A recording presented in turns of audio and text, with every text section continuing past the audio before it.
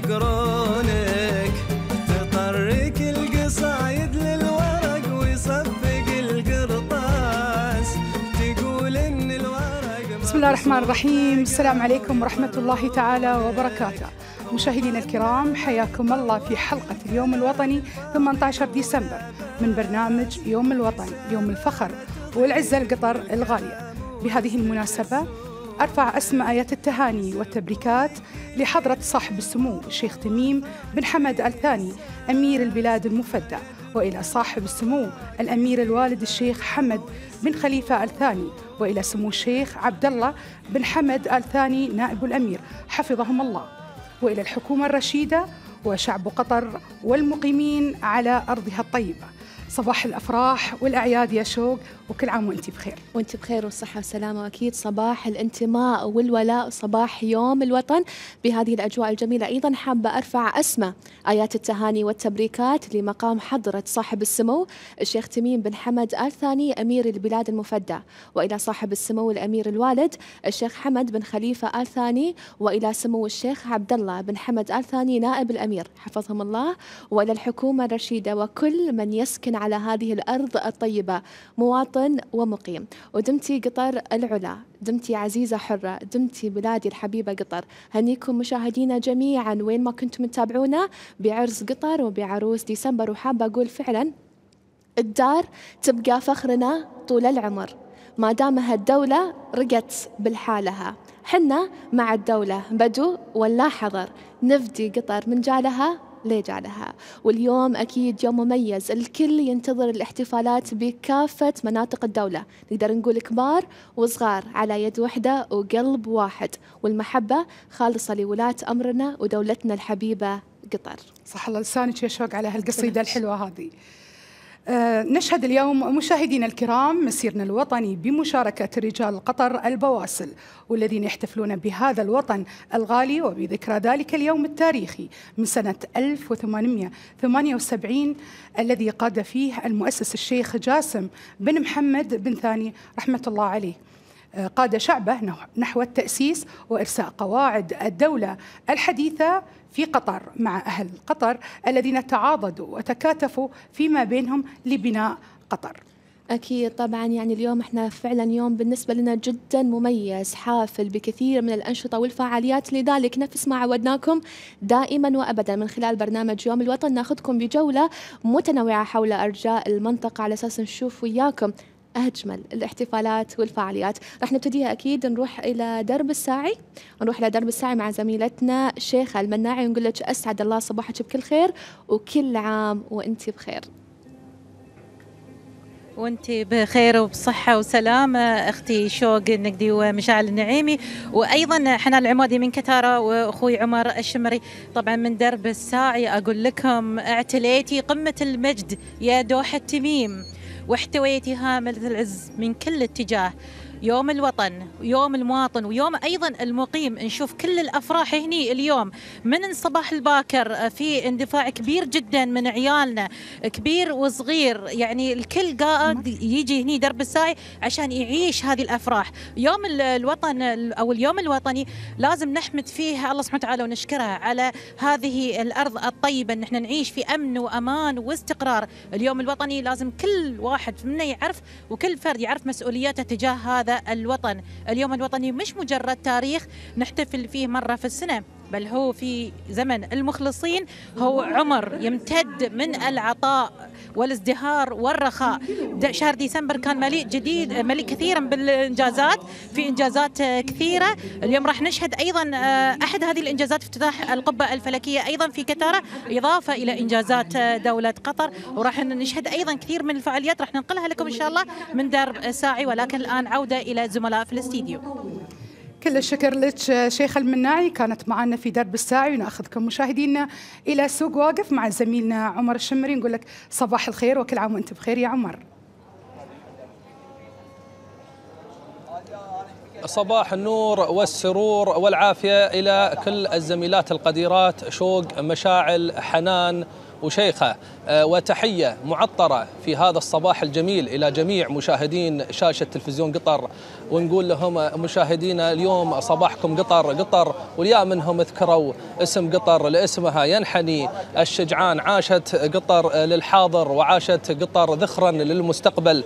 اللهم اجعل هذا البلد آمنا مطمئنا واكفه كيد المغرضين أرسمى آيات التهاني والتبريكات أرفعها إلى حضرة صاحب السمو الأمير أمير البلاد المفدى الشيخ تميم بن حمد آل ثاني وإلى سمو الأمير الوالد الشيخ حمد بن خليفة آل ثاني وإلى نائب الأمير عبد الله بن حمد آل ثاني وإلى سمو الشيخة موزة بنت ناصر وإلى الأسرة الحاكمة والشعب القطري الكريم وجميع من يقيم على هذه الأرض الطيبة. مشاهدينا سوف نوافيكم في تغطية من هنا من سوق واقف بمناسبة احتفاليات اليوم الوطني للبلاد. ترقبونا.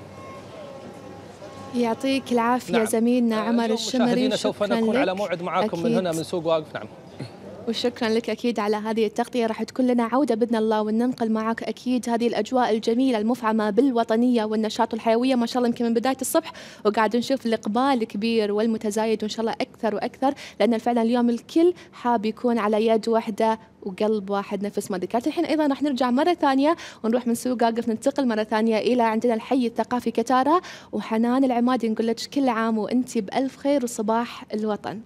صباح الوطن شوق ومشاعل وشيخة وعمر. صباح آه، آه، سعادة. اليوم إحنا نحتفل بانتصارنا انتصار العزة والكرامة والسيادة لدولتنا الأبية منذ عهد المؤسس إلى عهدنا هذا. اليوم نحن نستحضر أمجاد الماضي ونرسم للمستقبل. وفي هذه المناسبة يسعدني أني أنا أرفع أسمى آيات التبريكات والتهاني إلى حضرة صاحب السمو أمير البلاد المفدى وإلى حضرة صاحب السمو الأمير الوالد وإلى الشعب القطري الكريم وإلى المقيمين على هذه الأرض المجيدة. نحن اليوم موجودين في كتارة راح تكون عندنا العديد من الفعاليات والتغطيات آه، لهذا اليوم للعرس القطري. آه، أتوقع أن اليوم آه، الفرحة مو طبيعية. الفرحة مختلفة تماما عن أي يوم ثاني. كتارة اليوم ما شاء الله آه، تزينت بأحلى زينة لاستقبال هذا اليوم. وانتظرونا إن شاء الله لكن العودة الآن إلى الزملاء في الاستوديو ومعاكم. يعطيك العافية حنان فعلا نفس ما ذكرت يمكن اليوم الأجواء مختلفة الفرحة نش- قاعد يمكن لامسها بالكبير صحيح. والصغير بنفس صحيح. الوقت الشوارع تزينت من البداية لكن اليوم فعلا الفرحة غير ومتميزة وعشان كذي أكيد مشاهدينا أجمل شيء الواحد يبتدي فيه هذا الصباح يشوف أجمل مشاهد ويكحل عيونه بدولتنا الحبيبة قطر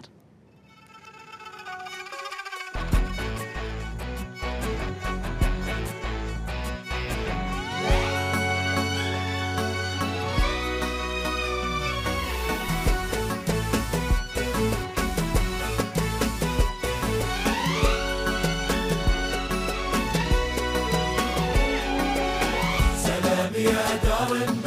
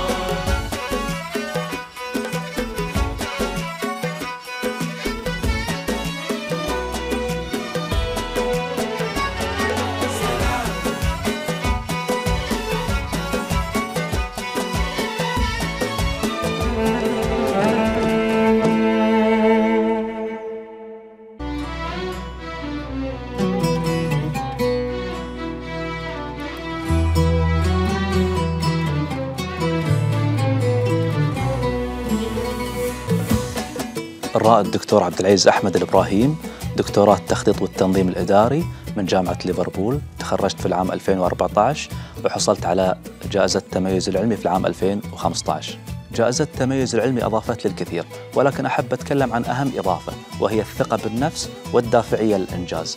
فتكريمي في يوم التميز العلمي هو تقدير من حضرة صاحب السمو حفظه الله للإنجاز الأكاديمي والتحصيل العلمي اللي توصلت له ولله الحمد. وجائزة التميز العلمي فيها العديد من المعايير والشروط. جزء منها متعلق بالتميز الأكاديمي وهناك أيضا معايير أخرى متعلقة بالجوانب الشخصية والقيادية في المترشح للجائزة. بصراحة كل ما واجهتني صعوبة أثناء أدائي للمهام الوظيفية وأحسست بنوع من الإحباط أرجع وأفتح الشهادة اللي منحني إياها حضرة صاحب السمو وأقرأ كلماتها وأتمعن فيها وأشوف توقيع سموه على الشهادة ويرجع لي الحماس والدافعية والتشجيع وأقول مثل ما حققت هذا الإنجاز بفضل الله إن شاء الله أني قادر أحقق إنجازات أكبر منها تعود بالنفع والفائدة على بلاد الغالية قطر. وما زلت أتذكر يوم التميز العلمي بكامل تفاصيله. لحظات صعبة أنها توصف. لحظات فيها الشعور بقيمة التعب والمثابرة. بعد غربة وسنوات دراسة طويلة تكللت بالنجاح والتكريم من سموه. لحظات فيها فخر واعتزاز أثناء مصافحة سموه. خصوصا أني خلال ذلك اليوم نلت شرف إلقاء الكلمة نيابة عن إخواني وأخواتي من المتميزين. إن التطور العلمي والتقني الذي يمر به العالم اليوم يحتم على الجميع الاهتمام بالعلم والبحث العلمي وتوظيف مخرجاته للوقوف على الأسباب الحقيقية والمنطقية وراء أغلب المشكلات التي تواجه العالم. بصراحة أقدر أوصف يوم التميز العلمي بأنه يوم كان فيه حفل كريم وحضور كريم وتقدير ذو مستوى راقي. ذكريات لن تمحى من الذاكرة. رسالة أحب أوجهها لخواتي وإخواني من الشباب أن اليوم الوطني يوم عزيز على قلوبنا كلنا. يوم يستعرض فيه الوطن كافة إنجازاته في كافة المجالات سواء القطاع العسكري أو المدني القطاع الحكومي أو الخاص وفي كافة مناحي الحياة السياسية والاقتصادية والاجتماعية. ولكن أهم عنصر يحتفى فيه في هذا اليوم ويستعرض فيه الوطن قدراته هو العنصر البشري. وهو ركيزة أساسية تقوم عليه رؤية قطر الوطنية 2030 وسمو الأمير الله يحفظه خلال زيارته لجامعة قطر في العام 2016 قال كلمة تكتب بماء الذهب. قال قطر فيكم استثمرت وبكم تعلو ومنكم تنتظر. فأنا أحث نفسي وإخواني وخواتي على الجهد والاجتهاد والمثابرة والتعلم واكتساب المهارات وتوظيف جميع تلك الطاقات والمهارات في خدمة بلادنا الغالية قطر. وكل عام وأنتم بخير وكل عام وقطر بألف خير.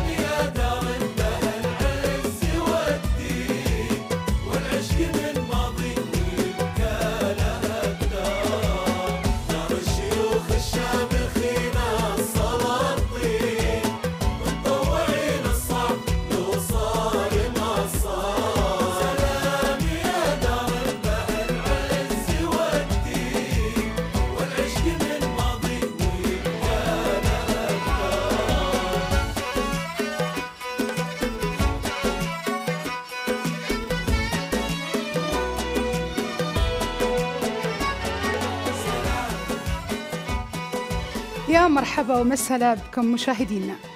لم يعد للفن والطرب والسمر بل أصبح في السنوات الأخيرة قوة مجتمعية تبث روح الوطنية وتو- وتوضح للعالم بأسرى مدى رفعة وأخلاق البلاد من نوعية الفن المطروح والمقدم.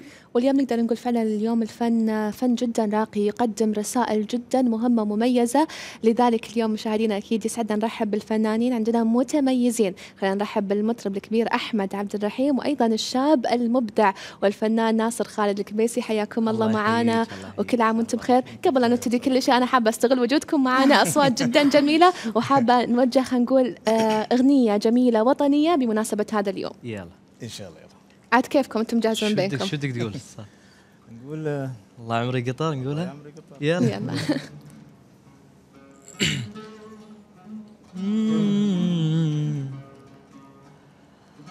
الله يا عمري قطار. الله يا عمري قطار. الله يا عمري قطار. الله يا عمري قطار وردة ونسماتك عطر وردة ونسماتك عطر. انتي في قلبي حبيبة انتي من روحي قريبة. انتي في قلبي حبيبة. انتي من روحي قريبة وردة نسماتك عطر وردة ونسماتك عطر الله يا عمري قطار الله يا عمري قطع. الله عليكم. يعني آه، فعلا إحنا حاسين بالأجواء العيد الوطني هذه من خلال وجودنا في كتارة ومن خلال أكيد مشاهدينا الأغاني الحلوة هذه الوطنية اللي تبث روح الوطنية وتجدد الولاء طبعا آه، بدولتنا الحبيبة قطر وبالشيخ تميم أكيد. راح أبدأ معاك آه، فنان آه، أحمد في الجولة الأخيرة اللي رحتها اليونان شاركت فيها مع سفارة قطر بالأغاني الوطنية وكنتوا في الشارع كنتوا تغنون آه، الأغاني الوطنية.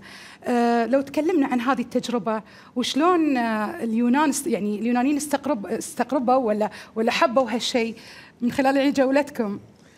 هي طبعا آه، طبعا كانت يمكن جولة مميزة يعني بالنسبة خاصة ال- الفترة هذه لأنه قيمة احتفالية يعني كبيرة خاصة في زي ما قلت لك بهذا العدد هذا الكم من ال- ال- المجموعة نعم. اللي راحت نعم. إضافة للاوبريت اوبريت ال- من الحان ومن الحان الاستاذ فيصل تميمي وكلمات وكلماته أيضا آه، اللي هي قصة وطن فيعني كان في إقبال وكان في استمتاع من الجمهور وتخيل أنت إحنا يعني طبعا أنا دخلت في أدوار دخلت أدوار ثانية دخلت دور حتى تمثيل ودور في الأوبريت لأن أساسا كان بعض المطربين غير موجودين. نعم. ف يعني كان في تفاعل حتى وإحنا يعني نقدم كان في كاميرات تصور فكان الجمهور كان يأشر لك وهذه يعني حتى مش عارف إن أنت قاعد لازم تلتزم بال أجواء حلوة يعني كانت. إضافة إلى ال- ال- ال- ال- المشاركات الخارجية اللي كانت زي زي ما قلت لك إحنا كنا نقدم الفنون الشعبية. نعم.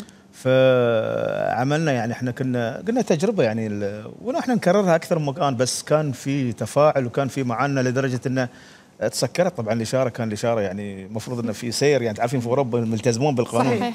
فتسكرت الاشاره وكان وكان عدد كبير من الناس كان يتابعنا في المسيره هذه اللي سويناها. يعني فعلا أجواء حلوة لما الواحد أيضا ينقل تراثه إلى الخارج. أكيد, أكيد. الناس يستمتعون بهذه أكيد. الأمور لأن فعلا الواحد دائما يحب يستطلع ويشوف شنو ثقافة الآخرين. والحلو بعد هني معانا يعني ناصر أنت ما شاء الله على صغر سنك. خلينا نقول نرجع قبل 2006 نرجع إيه. البدايات. كانت هذه يمكن اللحظة الجميلة. أنت ابتديتها بشيء جدا جميل مفرح يثلج الصدر أسياد 2006 آه، الاسياد 2006 والله ما أدري أنا لو بسولف يمكن آخذ الوقت كله عنها لأن آه، يعني عشنا هالفترة وكلنا مو بس أنا يعني كانت فترة من أجمل آه، الفترات. من أجمل الفترات صحيح. من من الأجواء من التجربة نفسها. يعني ما قد مرت ال- يعني قطر في في في افتتاح أو حفل يضاهي هال- هالاحت- هالاحتفال. يعني أنا ما أعتقد انه في أصلا افتتاح آه، نفس افتتاح اسياد الدوحة 2006 مم. آه، تجربة كانت وايد حلوة تجربة أنا وايد فخور فيها لين الحين. آه،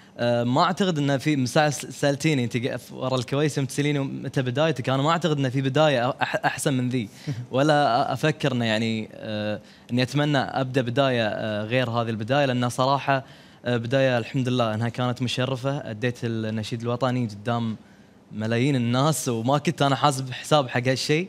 و آه، ما ما تنسي ما تنسي والجميل ناصر يعني. أنت من بين ست طلاب من مدارس قطر؟ طبعا. اختاروك إيه. أنت. إيه، يعني هذه إيه. الفرحة بروحها وفخر كفاية. يعني. إيه إيه هم رشحوني في البداية وأنا ما كنت حاسب حساب انه إنه صدق خلاص بيختاروني من ضمنهم. بس آه تفاجأت انهم إنهم اختاروني في النهاية الحمد لله. تستاهل. وتستاهل الطيب وعقبها طبعا أخذت إجازة أنا ذيك الفترة أعطاني إجازة ست شهور أعتقد شيء كذي. وعرفنا إحنا سبب اختيارك لأن بعدين تميزت ما شاء الله. يا عرفنا سبب اختيارك.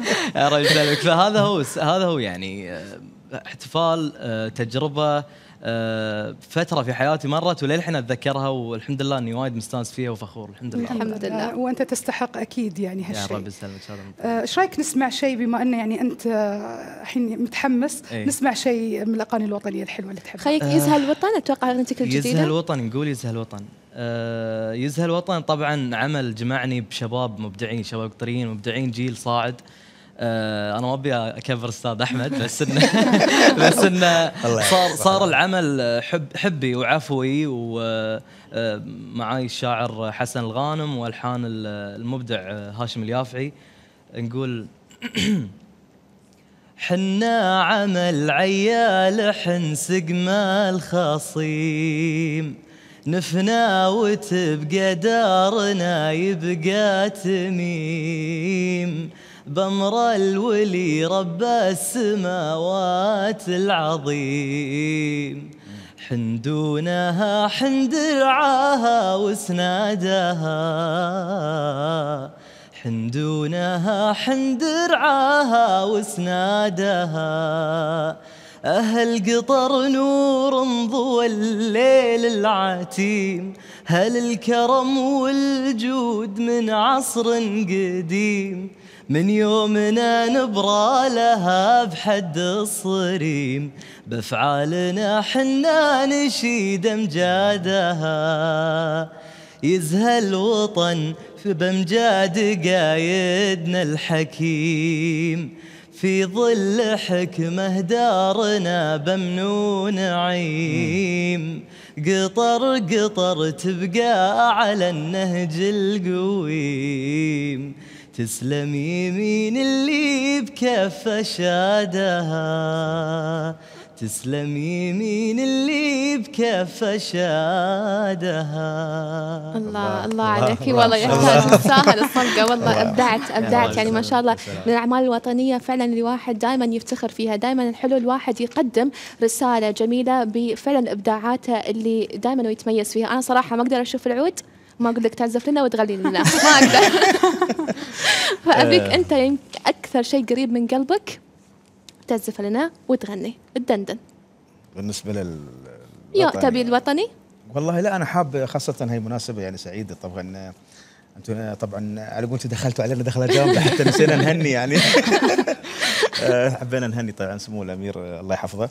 آه، سيدي سمو الأمير الشيخ تميم بن حمد ال ثاني أمير بلاد مفده وإلى سمو الأمير الوالد وإلى أسرة آل ثاني الكرام وكل من يعيش على هالأرض الطيبة والمقيمين طبعا كلهم بلا استثناء. وكلها وطبعا كل أيامنا إن شاء الله فرح إن شاء الله يا إن رب شاء الله إن شاء الله. أكيد بإذن الله. الحين يلا عاد في عمل طبعا هي و... آه، طبعا هذا جديد يعني عمل جديد للحين ما نزل يعني. يعني هالحصري حصري؟ أي طبعا أكيد. دائما آه من الحاني. حلو. آه، ومن كلمات آه، الشاعر سالم الحمودي.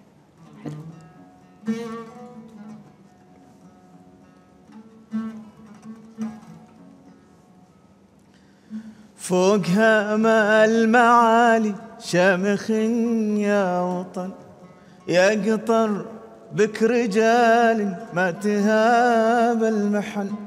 طوعينا الصعايب مخمدين الفتن مثل روس الجبال ماهرين الزمن فوق هام المعالي شامخ يا وطن يا قطر بك رجال ما تهاب المحن. طوعين الصعايب مخمدين الفتن مثل رؤوس الجبال قاهرين الزمن. يا وطناه يا غالي يا قصيد ولحن عشقنا لعشقنا ما مثيلك وطن. طوعين الصعايب مخمدين الفتن.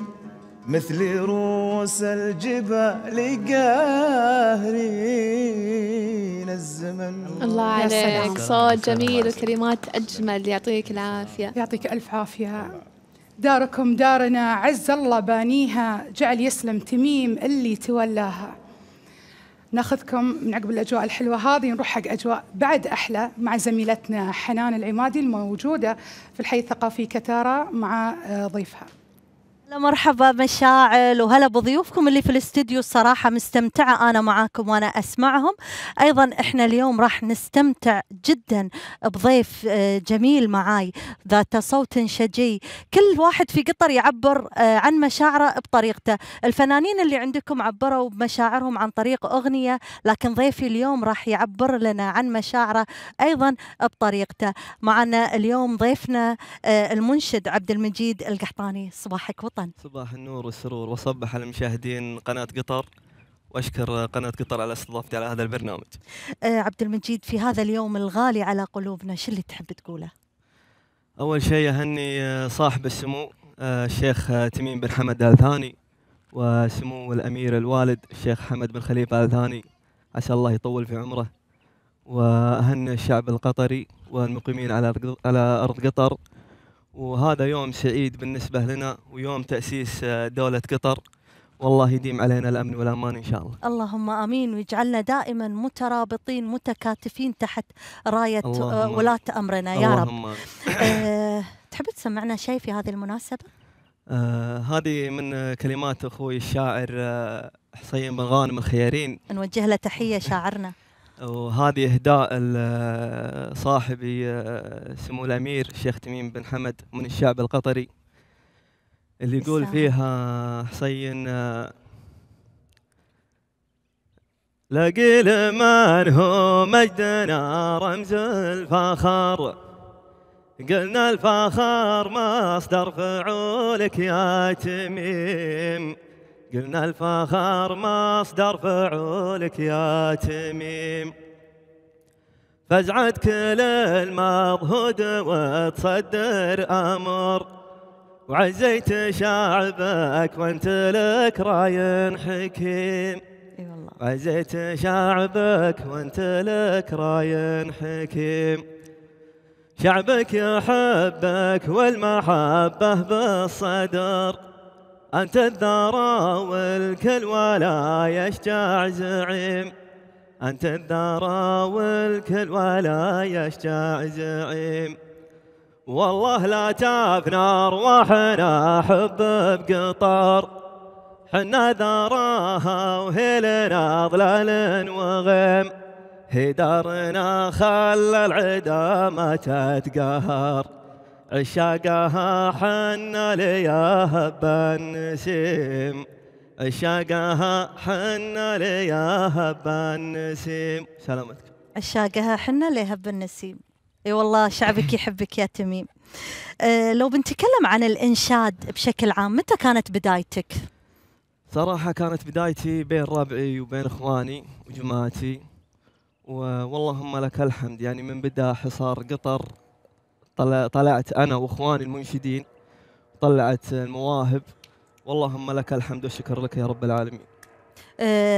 لو بنتكلم أيضا عن مواقع التواصل الاجتماعي إحنا اليوم في مواقع التواصل الاجتماعي شفنا العديد من المنشدين شفنا الكثير من الفيديوهات المصممة آه، للمنشدين آه، أو مو بس المنشدين على آه، بحد ذاتهم يعني للكثير المطربين للمجموعات. آه، هل فعلا أنت استفدت من هذه آه، المواقع؟ أكيد. استفدت واستفادوا إخواني المنشدين. وصحيح التواصل الاجتماعي يساهم في نشر آه، هذه المقاطع والشيلات. والشيلات موجودة من أول. غير آه، بعد بيكون سببها التواصل الاجتماعي في انتشارها ولها جمهورها. طبعا أكيد لها جمهورها. قبل ما تسمعنا شيء ثاني وبما أن إحنا عندنا في الاستديو هناك فنانين هل فعلا ال- الشلات سحبت البساط من الأغنية؟ والله أنا بوجهة نظري كل فن له جمهور. الأغاني لها جمهورها والشيلات لها جمهورها. فأنا بوجهة نظري يعني الشيلات هي موجودة من أول بس زاد جمهورها الشيلات أنا أشوف برج- بوجهة نظري ان الشيلات. الشيلات. سحبت. سحبت البساط من أنا من ما الأغنية؟ أقول لا إيه ولا لا. كل شيء له فن. أكيد أكيد. سمعنا شيء ثاني. هذه آه، غزلية آه، من كلمات المرحوم آه، ابن فلاح الحبابي يقول فيها لاجل العيون السود بسهر ليالي وأجر موالي يهجيني ومسحوب يم العيون السود روفي بحالي حال السجين اللي له سنين مطلوب لا تقطعي حبل الوصل بالسلالي حبل الوصل يا بنت واجب ومرغوب البارحة سهران طيفك طرالي. وقمت أبدع الطرق راضي ومغصوب. سلامتك. الله مسكين موجوع. خلينا نرجع نتكلم آه، مرة ثانية على آه، اليوم الوطني واحتفالات اليوم الوطني. آه، وين ناوي تروح في اليوم الوطني؟ اليوم بعد بعد هذا اللقاء وين تحب تروح؟ اليوم إن شاء الله بنحتفل مع الشعب. فالأماكن اللي هي متواجدة فيها الاحتفالات مثل درب الساعي وكتاره والكرنيش وعسى الله يديم علينا الأمن والأمان. ويحفظ لنا قطر إن شاء الله ويخلي لنا حكامنا ويخليهم لنا و آمين يا رب. والله يديم علينا الامن والامان إن شاء الله. آمين آمين آمين يا رب. آه عبد المجيد ممكن آه تغني أي قصيدة؟ ولا لازم تلامس مشاعرك القصيدة؟ والله على حسب. أنا يجيني شعار آه، يجيني شعار آه، على حسب الأبيات. في أبيات يعني أنا أستعد لها ألحن لها. طبعا آه، على حسب القصايد لأن فيه. بعض الشعار آه، يعني مثلا أشور يشور علي. بألحان فأنا أعطيه آه، اللحن على حسب القصيده وعلى حسب الأبيات. فأنا مثلا جاني شاعر وقال لي مثلا أبيك تلحني هالقصيدة أو شوف لي هذه- الألحان. من عاد أنا أجيب له مثلا لحنين ثلاثة وأخيره. وهذه. آه قبل ما نختم سمعنا شيء وطني. هذه الكلمات من أخوي آه، الشاعر مهل بن ناصر الكدادي اللي يقول فيها رافر في في هامة العليا مهابه مجدنا من عادها بقع صبيه ذي سواعدنا على العز بصلابه دون الأدعم نار حياض المنيه وامطري للدار خيرك يا سحابة. ترثات الامجاد اللي يبرديه وبرقي عين حسادك رهابه هرزمي تدوي مسامعها رعديه الله. ذات ميم العز والمجد وصعابه والخصالة اليعربية يا عربية والخصالة اليعربية يا عربية سلام. يا سلام. ألف ألف شكر لك عبد المجيد القحطاني استمتعنا معك تبارك الرحمن صوتك وايد حلو. الله يوفقك يا رب. آمين وياك. الله يعطيكم العافية. الله يسلمك. أعزائي المشاهدين أتمنى أن أنتم استمتعتوا مع ضيفي. آه لا تنسون المسيرة اليوم على كورنيش الدوحة. نشوفكم هناك وأيضا تابعوا تلفزيون قطر. برنامج المسير إن شاء الله بيكون الساعة ثنتين ينقل لكم أحداث كل الأحداث اللي على الكورنيش. ننتقل الآن إلى زملائي في الاستديو شوق ومشاعل. يعطيك العافية. أمانة استمتعنا جدا جدا جدا بهذه الأجواء الوطنية الجميلة. شكرا لك حنان شكرا لضيفك الكريم عبد المجيد القحطاني. فعلا أخذنا بأجواء مميزة وإحنا ما زلنا بهذه الأجواء الوطنية المميزة والجميلة. ونرجع بعد ناصر معاك والغربة. الغربة. الغربة. أه، أنا أنا أحس إن إن الغربة يعني وقرار إني إني إني أدرس برا يمكن أحسن قرار اتخذته في حياتي صراحة لأن وايد تعلمت منها. أه الغربة تعلم في كل شيء مو بس في الدراسة حتى يعني في الحياة. أه حتى في الحياة بشكل عام. اللي يروحون يتعالجون اللي يدرسون اللي متغربين لظروفهم. أه الغربة بشكل عام تتعلم لكن الغربة اللي أنا تغربتها يعني كتعليم ودراسة آه، عرفتني على وايد ناس طيبين شرواكم وعرفتني على على ثقافات ثانية. آه، تعلمت شلون أتعامل مع المواقف الصعبة في أسوأ الحالات في آه، في- وايد أمور وايد أمور ما في مو مو بشيء معين. نفس الوقت تعلمتني ان أتعلم أكثر من فن. قبل شوي نسولف مع الأستاذ أحمد عن الفنون والثقافات. آه، الغربة تعلم آه، يعني مجرد إن أنا أدرس برا خلاص أنا طلعت وأنا عايش مع مجتمع غريب آه، ثاني مختلف. فوايد تعلمت من الثقافات الثانية آه، انسجمت مع وايد فنون أنا ما ما في حياتي ما فكرت إني أسمعها وأتعلمها. حلو. والحمد لله وايد تعلمت أكثر من الدراسه نفسها يمكن بعد. فالحمد لله رب العالمين. قرار. وايد وايد ممتاز يعني. آه، بما أنك تكلمت وقلت عن الثقافات إن يعني اكتسبت ثقافات جديدة آه، ننتقل عند أستاذ أحمد. من كثر حبك للفن آه، صرت تدرس كل الفنون مثل الفن الهندي الفن المغربي آم، ومؤخرا الفن الزهريات. آه، الزهريات آه، يمكن المشاهدين يعني أعطيهم فكرة عنها اللي هي سبع أشطر آه، ثلاث آه، الأشطر الأولية تكون من نفس نفس القافية. القافية، نعم. وثلاث أشطر آه، ث- ال- الثانية تكون بعد بنفس القافية ولكن الشطر السابع يكون من نفس يختم الشطر. بنفس الشطر, الشطر الأول. الأولاني. أي. وهذا الفن تقريبا يعني ما راح نقول إنه اندثر بس إنه يعني صار الناس ما يهتمون له. يعني حتى مش معدودين يعني يعني صا- زي ما قلت لك يعني أنا حتى تفاجأت لما أخوي أبو عبد الله طبعا عرض علي هالموضوع طبعا أخونا الشاعر محمد مبارك المريخي نوجه له تحية نوجه له. تحية أكيد. نعم. آه كانت يعني كانت فكرة جريئة طبعا من ناحيتين طبعا من ناحيته هو من ناحيتي أنا فزي ما قلت لك يعني خاصة إن هذا يعتبر زي مش يعني زي ما قلت قريب للاندثار يعني أي نعم. صاروا معدودين يعني قلال فعلا اللي كانوا يكت- يكتبون الحين الزهريات نعم صحيح فحبي أنا قصدي بحكم قلت لك ميولي الشعبية ال- الأساس تأسست فيها فكنت حريص ان أقدم على هاللون من الأعمال هذه. نعم. والحمد لله لقت انتشار يعني وفي بالعكس في جيل كان حتى يسأل كان يقول شنو هال ال- صحيح. اللي تقدمه أنت أو شنو اللون الذي إلا زي ما قلت لك جيل معين اللي كان عاصر هذه الفترة. آه بس أنا في يمكن ملاحظة بسيطة بس بقولها اللي هو طبعا آه كان المفروض يكون معنا أخونا الفنان آه منصور المهندي في نعم. طبعا اعتذر ووجهني وطبعا وصاني أقول لكم الاعتذار لأنه مس- آه، مسكين ولده الصغير تعبان في المستشفى. سلامته عليه ما. يشوف ما شر شر. مسكين من الصبح حتى والله طرش لي المسج. ما عليه شر معذور. أمانة يعني وصلنا. لازم أقولها يعني. معذور. معذور. ما عليه شر الله يقوم ما ولده شر. إن شاء الله شاء نوجه له الله. تحية طبعا. نوجه تحية لكل الاخوان الفنانين. كذلك. بس أقول لك والحمد لله لاقت انتشار هذه نعم. العمل هذا لاقى انتشار يعني. زين أستاذ أحمد مجهز لنا شيء؟ نقدر مثلا نسمعه والله لهذا الفن؟ أنا ودي أسم أسمعكم. يمكن في ناس سمعوه في من خلال ال- ال- اليوتيوب. طبعا نزلنا العمل بس أنا حتى اعطيهم يعني إحنا ش- شرح الفكرة بس ودي أ- يعني أنا نطبقه أطبق ال- ال- ال- نسمع. هذا نستمتع معك.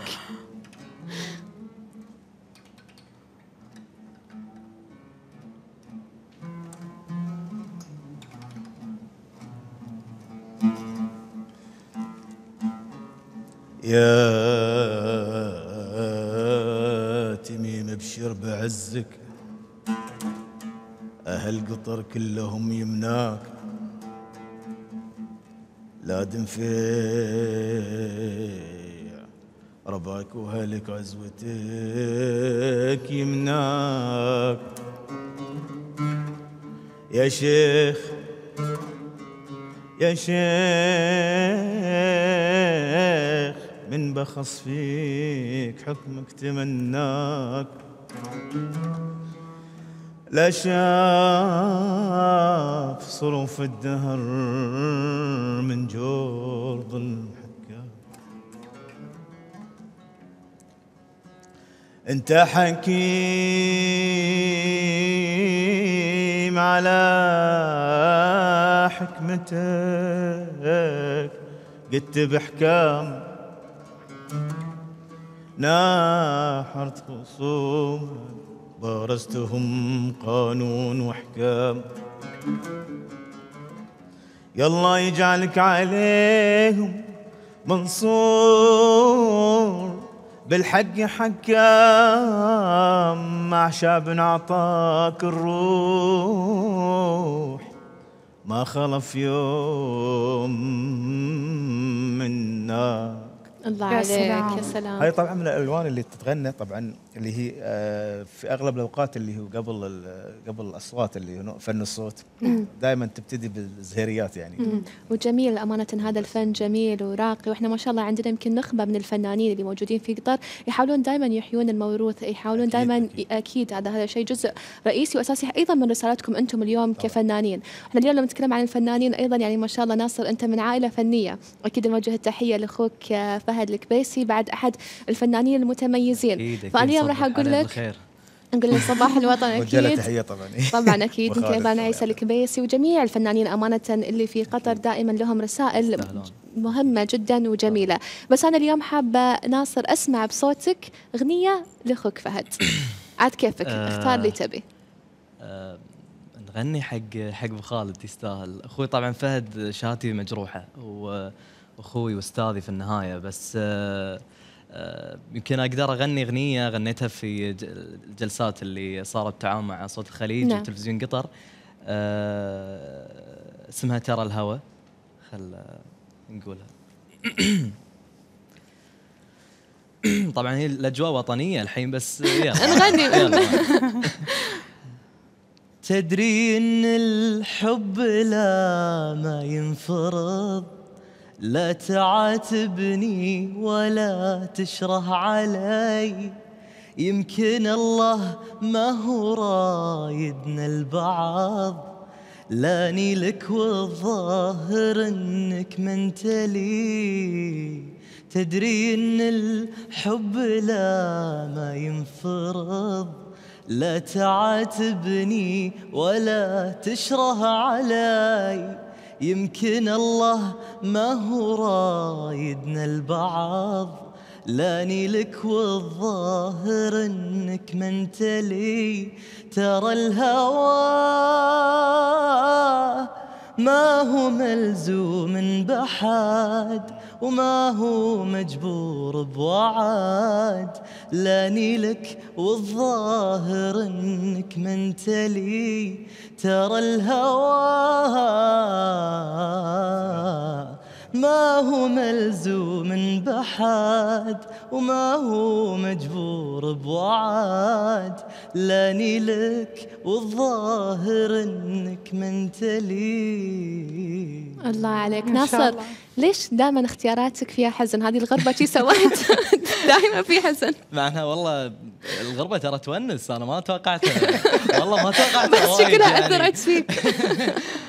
هي غربة تونس بس تحمل حنين داخل إيه، لل- طبعاً، طبعاً، وللوطن. نعم، أكيد نعم. أكيد آه، أستاذ أحمد دائما حضرتك تأكد إن ال- الأغنية القطرية الوطنية تتميز برسالة سامية تعكس آه، تضامن آه، الشعب القطري. في لك أغنية اللي الحين تداولت في السوشيال ميديا اللي هي هل الصملة وحنا حنا لها. أنا حابة إني أسمعها والله شوفي أنا مشكلتي يعني في الحفظ والله يعني المشكلة إن يعني ما اكذب عليك ما حضرتهم يعني لأن يعني في هالفترة هذه إحنا في فترة يمكن سنة وسنه وكم شهر. أنا والشاعر آه، محمد مبارك المريخي قدمنا 11 عمل يعني ما شاء الله، يعني. هذه مش طبعا كلها وطنية كلها وطنية طبعا زين أقرب أغنية لقلبك هو اللي كان هو اخر آخر عمل أعتقد اللي هو نعم. اللي هو روحي. فداك أيوة. أيوه أنا أعتز بهذا العمل يعني يعني طبعا مو مقصورون في الأعمال الثانية بس من الأعمال اللي مميزة أعتقد هي لأنه كان بالفصحى بالفصحى يعني يعني يمكن أول أغنية وطنية تتكلم بالفصحى طبعا ويمكن أميل حتى بعد نفس الشيء أخوي ناصر يعني هو يرني للمقام يعني أول ما بدينا المال حق ال- الراست يعني وهذه أي. وأنا أحب المقام هذه يعني أي. في التلحين يعني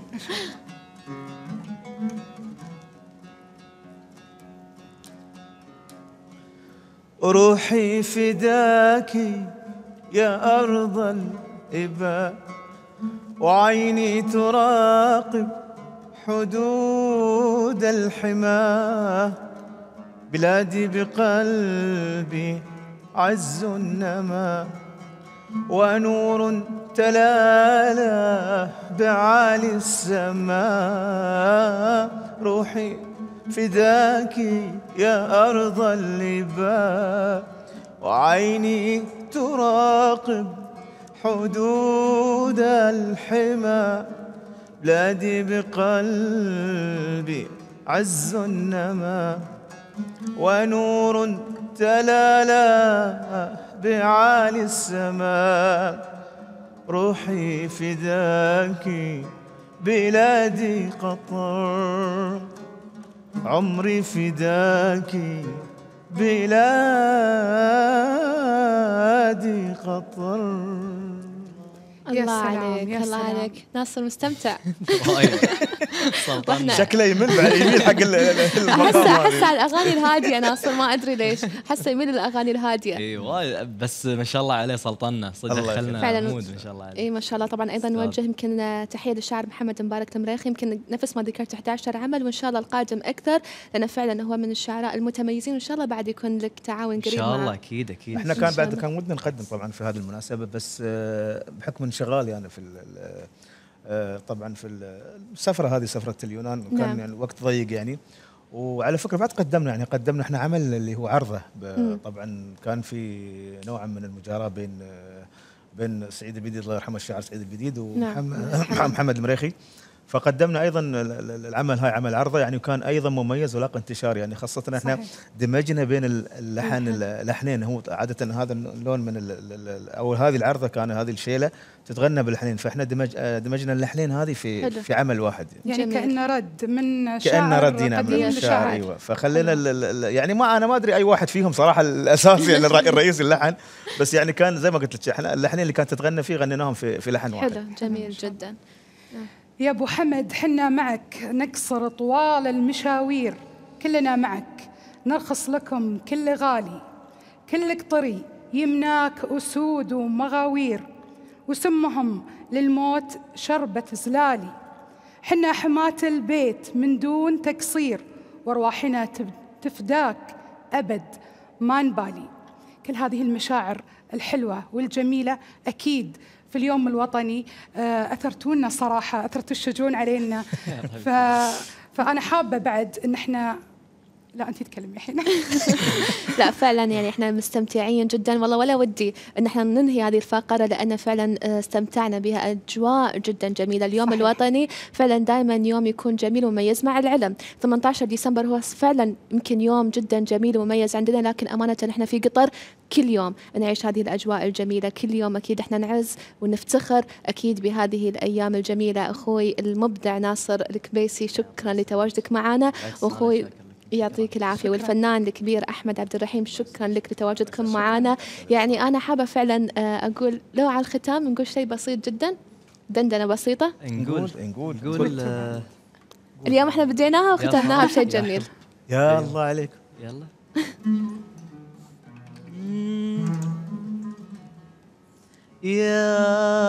يا يا فرح يا حب بعيون البشر. يا يا فرح يا حب بعيون البشر.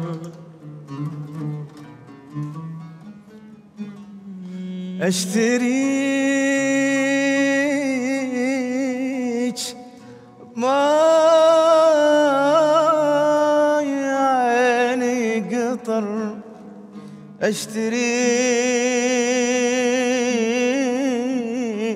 بماي عيني قطر عيني قطر عيني قطر. الله. عيني قطر عيني روحي قطر امي قطر. الله. بصفق لكم تستاهلون تستاهلون تستاهلون. يعني يعطيكم العافية. الأجواء هذه شلون نخليها صراحة؟ يعني ما شاء الله عليكم. آه، بجد حسستونا بصج باليوم الوطني. آه، وعيني قطر وروحي قطر. وأمي قطر. وأمي قطر. آه، مشاهدينا بنطلع معكم فاصل وعودة مجددا لكم. يعطيك.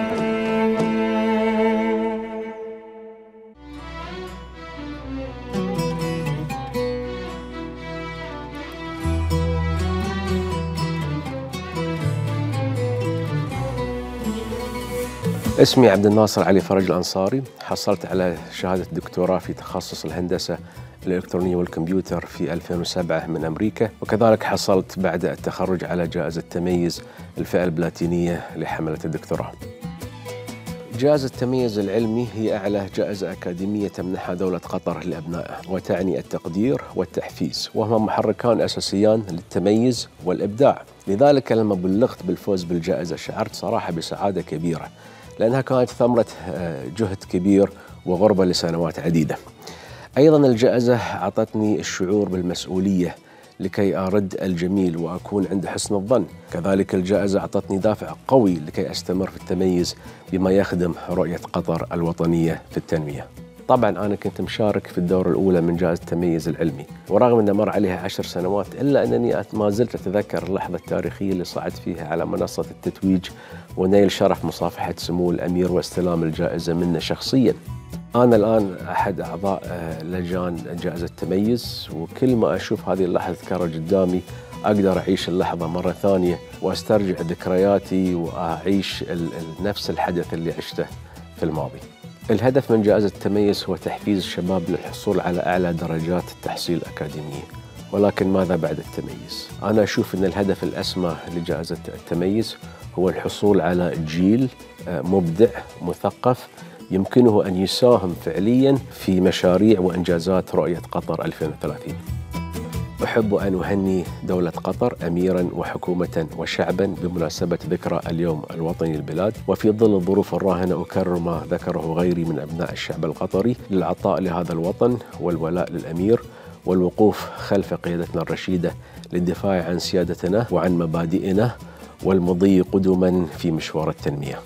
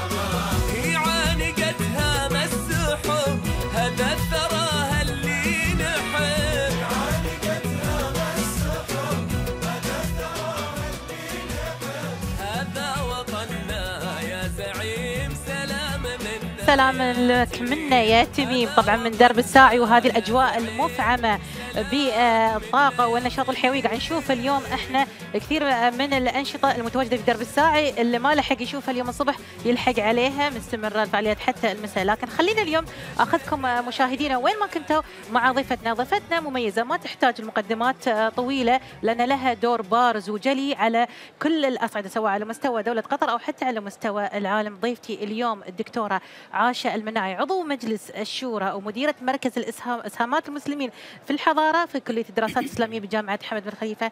وصبح عليك في يوم يا أهلا 18 ديسمبر وسهلا يوم مرحبا الوطن. بك مرحبا بك ومرحبا بالوطن الجميل بلادنا قطر الجميلة جدا في كل شيء.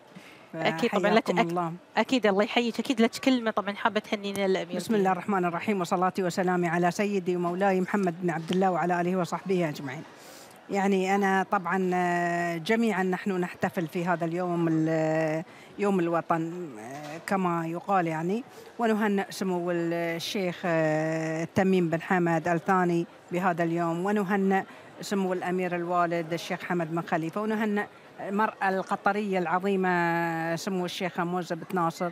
ونهنئ أنفسنا جميعا يعني رجالا ونساء في هذه الدولة الفتية ال- ال- ال- الآمنة المستقرة المسالمة. ف... ونتمنى لها دائما أن تكون في علو وتكون في خير وصلاح بحول الله اللهم سبحانه آمين. وتعالى. دكتورة لفت نظري. أنا يعني مسماك مدير مركز إسهامات المسلمين للحضارة. لو تشرحي لنا هذا المسمى ودور المرأة القطرية أيضا. ال- طبعا هو يعني هذا المركز مركز محمد بن حمد الثاني لإسهامات المسلمين في الحضارة وأنشئ آه، سنة 83 أنشأه الشيخ محمد بن حمد. ولكن في 2010 ضم ضمته سمو الشيخ موزة إلى آه، جامعة حمد بن خليفة تحت نعم. كلية الدراسات الإسلامية نعم. هذا هذا المركز مركز ترجمة آه، يترجم إسهامات المسلمين آه، السابقة أمهات المسلم أمهات ال- الكتب الإسلامية. آه، لكن بعد أن توليت أنا يعني رئاسته فأدخلنا فيه الكثير حقيقة. صارت الترجمة من إلى اللغة الإنجليزية والفرنسية والألمانية وأيضا حتى الكورية. أيضا لأن إيماننا نحن بالترجمة وأيضا من من هذه اللغات إلى اللغة العربية. نعم. آه، إيماننا بأن الترجمة هي تعتبر آه، يعني مساهم ليست مساهم إنما هي أساس في نقل تراث أي بلد آه، حضارة أي بلد إلى دول أخرى ال- نعم ال- يعني ال- ال- العالم الآخر يعني فلذلك طبعا ومن هذا المنطلق فعلا حضارة ال- المسلمين قد تفهم خطأ قد آه، وهذا ما يعني حدث في في السنوات السابقة نعم أيضاً، في- حتى الآن. والآن, والآن يعني الم... نعم. يفهم المسلم خطأ يفهم الإسلام خطأ لذلك نحن نساهم أيضا في أن إحنا نظهر آه، إسهامات المسلمين في الحضارة وكيف أثرت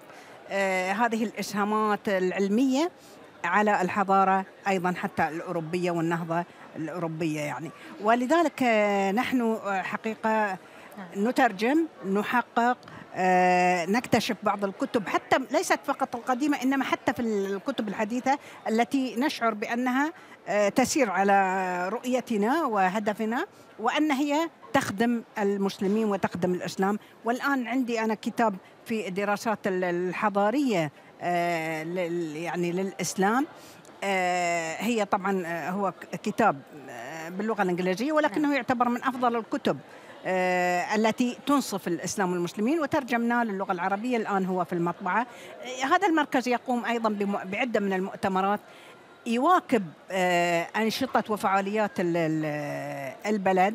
آه، عندنا في عملنا من نعم. فترة صغيرة يعني مؤتمر ل آه، لاثنين من علماء الروس بمناسبة صداقة قطر مع روسيا هذا العام. وأيضا العام القادم إن شاء الله صداقة قطر مع الهند. أيضا سنظهر إسهامات العلماء المسلمين أيضا في الهند تجاه الحضارة. الإسلامية والإنسانية أكيد وأيضا كبيرة. آه، أذكر بأن المركز حصل منذ أسبوع على جائزة حمد بن خليفة جميل. آه، طبعا يستاهلون في يعني للإنجاز يستاهلون الحمد. لله رب العالمين يعني. أكيد إحنا قاعد نتكلم عن إنجازات كثيرة ونشهدها يعني في دولتنا الحبيبة قطر يعني طوال آه، العام يعني مش بس تخصيصا في 18 نعم، نعم، ديسمبر نعم. لكن حابين منك دكتورة يعني أنت لك مسيرة جدا ناجحة كامرأة قطرية حابين توجهين كلمة آه، للكل في هذه المناسبة آه، نعم. الوطنية بالنسبة للمرأة القطرية يعني أنا يعني مثلي مثل أي امرأة قطرية نحن أنا نظرتي للمرأة القطرية بأنها إنسان مثلها مثل أي امرأة في المجتمعات الإنسانية. لكن لديها أيضا إمكانات لديها قدرات وهي تعتبر جناح كما نقول نحن يعني الطائر لا يطير إلا بجناحين. صحيح. جناح أنا أعتبر المرأة وجناح الرجل. فلا يمكن أن تسير هذه الدولة وتنمو وتزدهر ويعني وتعلو إلا بتواجد المرأة مع مع الرجل. الرجل. ولذلك فعلا المرأة القطرية فعلا. إذا إذا كان هذين الجناحين يعني في حالة معافاة في حالة صحة لابد أن تسير الدولة سيرا حثيثا يعني للأمام.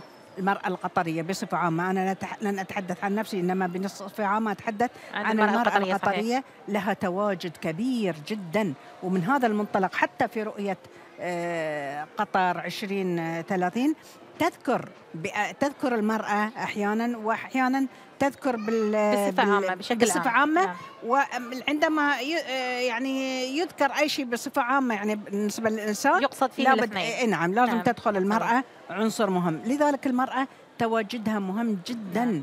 لنمو نعم. نعم. آه كل شيء نعم دكتورة آه، يعني نعم. يعني يعني مهمة جدا تواجدها للتنمية سواء اجتماعية ولا اقتصادية ولا سي ولا سياسية ولا نعم. نعم. أي نوع من أنواع التنمية نعم الدكتورة عاشا المناع عضو مجلس الشورى ومديرة مركز إسهامات المسلمين في الحضارة كلية الدراسات الإسلامية بجامعة حمد بن خليفة. كل الشكر والتقدير على تواجدك اليوم في جزيلاً. هذا اليوم المميز. والحين مشاهدينا راح ناخذكم في جولة مفعمة بالوطنية من خلال درب الساعي. نشوف هذه الفعاليات.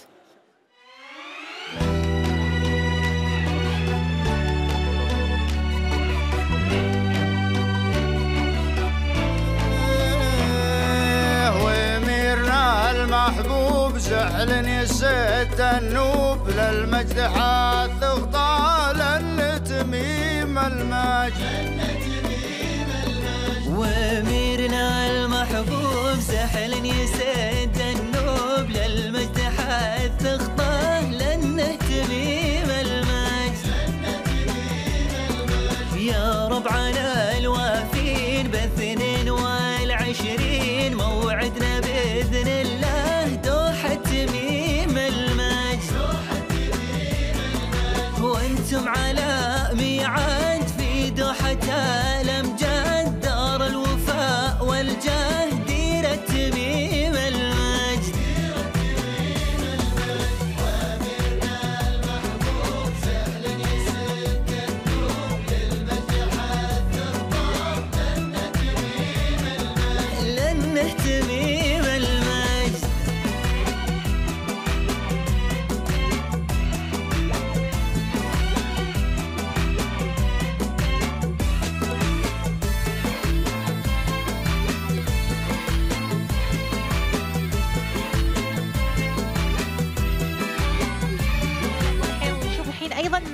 جناح خيمة الدوحة. قاعد قاعد نشوف ورانا يعني ما شاء الله مكتظة آه، بالزوار سواء كانوا مواطنين أو مقيمين. لكن خلونا اليوم مع ضيفنا آه، الشيخ علي بن سلمان بن جبر محمد ال ثاني رئيس فريق الأنشطة والفعاليات بالنادي العلمي. ونصبح عليك بالخير. صباح الوطن.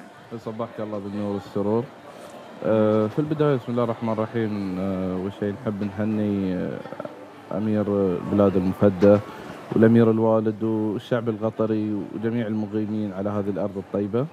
نعم. ومثل ما قلت ما شاء الله المكان يعني مكتظ بالناس والفعاليات ما شاء الله يعني في كل مكان في الدوحة. ما شاء الله صحيح. آه، الكل قاعد يحتفل في هذا اليوم يعني آه، من الشعب والمقيمين جميع كلهم كلهم بيد واحدة. ما شاء الله. لكم هني جناح آه، شيخ يعني آه، خاص بالنادي العلمي تكلمنا عن هذا الجناح وإيش قاعد يقدم حق الجمهور؟ نعم. آه عندنا إحنا في درب الساعي عندنا ثلاثة أقسام. نعم. عندنا في خيمة الدوحة نفسها عندنا booth آه، يكون فيه آه، ورش تفاعلية آه، اللي هو simulation سيارات محاكاة للواقع إن يتدربون لأن إحنا افتتحنا عندنا في الفترة الأخيرة اللي هو الجراج جراج النادي العلمي القطري يكون بحيث إن الشباب يعدلون سياراتهم يشتغلون بسياراتهم إن كيف ممكن عشان يدخلون الحلبة و- ويسابقون فيها. آه، فعندنا محاكاة للواقع حق هذه الأمور كاملة وعندنا فعاليات وورش آه، متنوعة منها إلكترونيات وميكانيكا وطاقات متجددة آه، بحيث نستهدف ال- الأطفال الصغار كيف ممكن نحببهم في الشغلة بطريقة غير يعني اللي يسمونها في المدارس نظرية. نعم. نحاول نخلي كل شيء عملي كل شيء يكون في لمسة من وال- يعني يستمتعون فيها و... عن طريق يحبون- الألعاب عن يعني. طريق الألعاب يعني نعم. هي شكل العاب نعم. بس أهم شيء ان توصل لهم الفكرة المفهوم العام حق آه، الشغلة نفسها. نعم. هاي هاي عندنا اللي هي الفعالية الأولى وعندنا أيضا اللي هي الغبة العلمية. آه، الغبة العلمية هذه آه، عبارة عن دوم 360 درجة. نعرض فيها أفلام علمية خيال علمي آه، هذه الأمور. يعني في عندنا أفلام الفلك آه، في عندنا أفلام عن الديناصورات وان اللي اكتشفوها وهذه الأمور اللي هذه. آه، عندنا بعد أيضا اللي هو فيلم عن نتكلم عن قفزة فيلب اللي هو طب من أعلى نقطة في العالم يعني طب من منطاد من 1300 تقريبا كيلو متر. آه، هاي عندنا بعد هاي فعالية ثانية. وعندنا أيضا آه، في خيمة الليوان فعالية آه، البنات. آه. ف- خ- خيمة اللواء النسائية. النسائية نعم. آه، عندنا اللي هي يسمونها غرفة الليزر تحدي الليزر. آه، بحيث ان يشاركون فيها مثل غرفة ويدخلون داخلها فيها الياز وكذا لازم يتفادونها يعني فعالية هاي حركية أكثر. أكيد. طبعا إحنا اليوم قاعد نشهد احتفاليات كثيرة في أرجاء آه، الدولة كلها قاعد تحتفل بهذا اليوم. يعني اليوم لما تشوفون يعني طلابنا وعيالنا صغار وكبار سواء كان مواطن أو مقيم مقبل على خيمة آه، دوحة قاعد يشوفون فعاليات آه، النادي العلمي. شلون أنتم قاعد توجهونهم لأنهم يتخصصون التخصصات المطلوبة والمرغوبة للدولة؟ إحنا من خلال أنشطتكم من خلال أنشطتنا يعني نفس ما قلت لك في البدايه أول شيء. الورش نحاول نحببهم في الشغلة. آه، ندعوهم آه، يزورونا في النادي العلمي. آه، عندنا إحنا يعني في ورش إن شاء الله قادمة. بعد على طول اللي هي فعاليه آه، فعاليات اليوم الوطني إن شاء الله في تاريخ آه، 22 تبتدي اللي هي آه، فعالية الشتاء. آه، فعالية الشتاء عبارة عن مخيم STEM. نعم. STEM اللي هو science technology engineering math نتضمن آه، هذه الأربع محاور آه، بحيث انه نفس الورش اللي كنا إحنا نسويها هنا حق الأطفال هي من ألعاب من تواصل من هذه بس تكون محورها هذه الأربع نقاط. آه، حاليا طبعا في مدارس آه، كثير في الدوحة تمدوا اللي هي آه، منهج STEM اللي يسمونه هذا هو. فإحنا قاعدين نحاول الحين بعد نطبقه عندنا بحيث إن آه، الطفل نفسه يعني قبل ما يدخل المدرسة هذه يعرف وش هو STEM يعني تهيئة تهيئة للطالب تهيئة نعم للطفل. نعم الطالب. طبعا الشيخ علي بن سلمان بن جبر محمد آل ثاني رئيس فريق الأنشطة والفعاليات بالنادي العلمي كل الشكر والتقدير لك على تواجدك اليوم معنا في هذا العافية. الله يعافيكم مشاهدينا يعني انتهت هنا فقراتنا في درب الساعي لكن ما زالت الأجواء مفعمة بالوطنية والشعور بقيمة الوطن وحبه وانتمائه نرجع لكم طبعا نشوف بعض هذه المشاهد مرة ثانية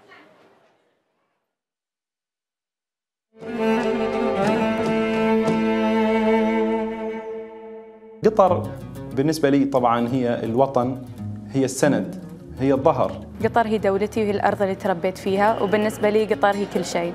قطر هي كعبة المظلوم. وبمناسبة اليوم الوطني بغيت أقدم شكري وتقديري لسمو الأمير الشيخ تميم بن حمد آل ثاني والأمير الوالد الشيخ حمد بن خليفة آل ثاني. أحب أرفع أسمى آيات التهاني والتبريكات إلى حضرة صاحب السمو الشيخ تميم بن حمد آل ثاني أمير البلاد المفدى وإلى آه، حكومتنا الرشيدة وعموم الشعب القطري الكريم والمقيمين على هذه الأرض الطيبة. أحب أهني حضرة صاحب السمو الشيخ تميم بن حمد بن خليفة آل ثاني ونائب سمو الأمير الشيخ عبد الله بن حمد بن خليفة آل ثاني والشعب القطري كافة بمناسبة اليوم الوطني. قطر ستبقى حرة. قطر ستبقى حرة. قطر ستبقى حرة.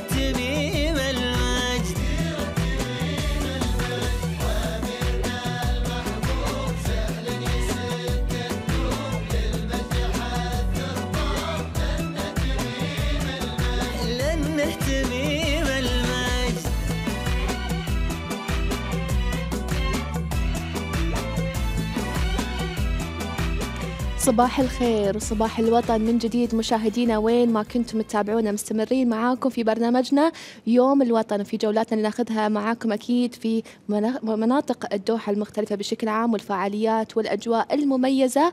والجميلة.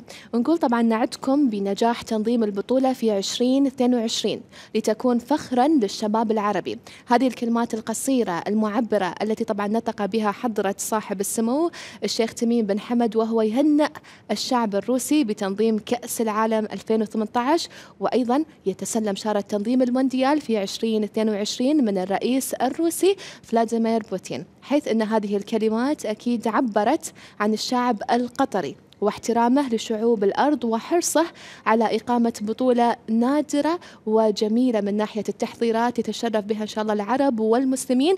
وتعد فخرا للجميع أكيد. نعم.